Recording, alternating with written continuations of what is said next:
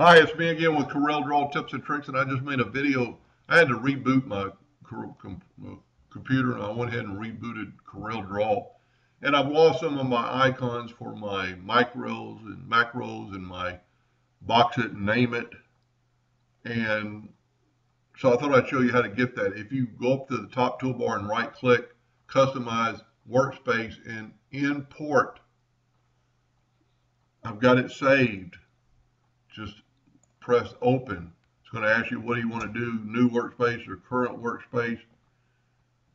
Um, normally you do no new workspace. Well, let's do new workspace. No, let's do current workspace and then import. This takes just a little bit of time because I've got a lot in there, but it's it's bringing back my shortcut keys, the menu bar, all the dockers, all my options, my toolbars that I've changed and it'll take you a second and you'll see it'll be worth the wait. Matter of fact, I'm going to try to, I've never paused the video before. Don't know that I can.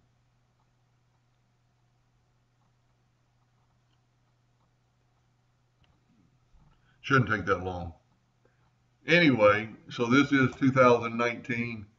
Um, they have changed some things. I, I just did a little overview last night. I'm not um, I'm not, it's got one thing that's really, really cool, but it really hasn't changed enough.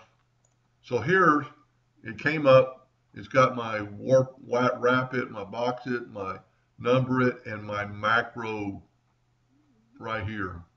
You know, here's, you know, number it that I used earlier today, and I'm back. And then, of course, you would just go save as default, and the next time it comes up, you could probably check everything on here. I'm not 100% sure on all this. But now the next time you open Corel Draw, your page will be right and you'll have all your, if you've added anything to your toolbar that's not default. And to save that, you just right click on that toolbar, customize, and export it to a file. And it'll ask you what all you want to do, and we want to do all of them and then you would just name it. I'm not going to do it because I've already got it saved twice. But it puts it in a file where, where Corel knows where it's at and can bring it back up. Saves you a lot of time to rebuild all that stuff.